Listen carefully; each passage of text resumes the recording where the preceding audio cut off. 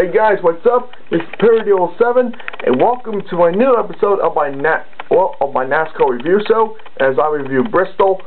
So, and for the first time in the last, let's see, uh, about 51 races, Matt Kenseth takes home the win. Uh, Jimmie Johnson, oh, overcame two accidents to come in, only come in second. Jeff Gordon comes on third. Third. Uh, Ricky Stenhouse Jr. came on fourth.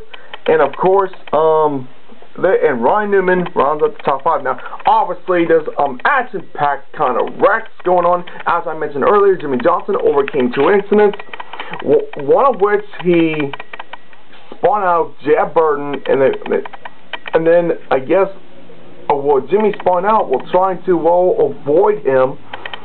They, I guess he may have got hit by behind by David Ragan, but although I'm not I'm no, although I'm not completely sure.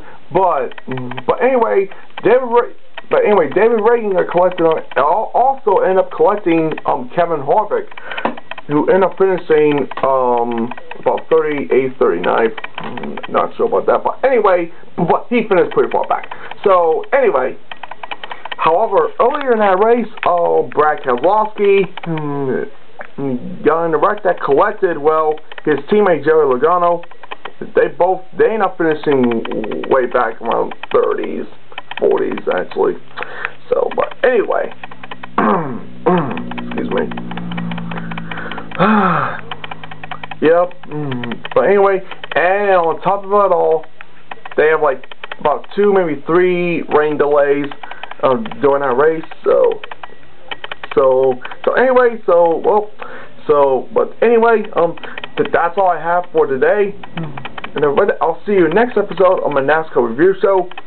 Anyway, anyway guys, um, so take care. Oh, God bless. Adios. Peace.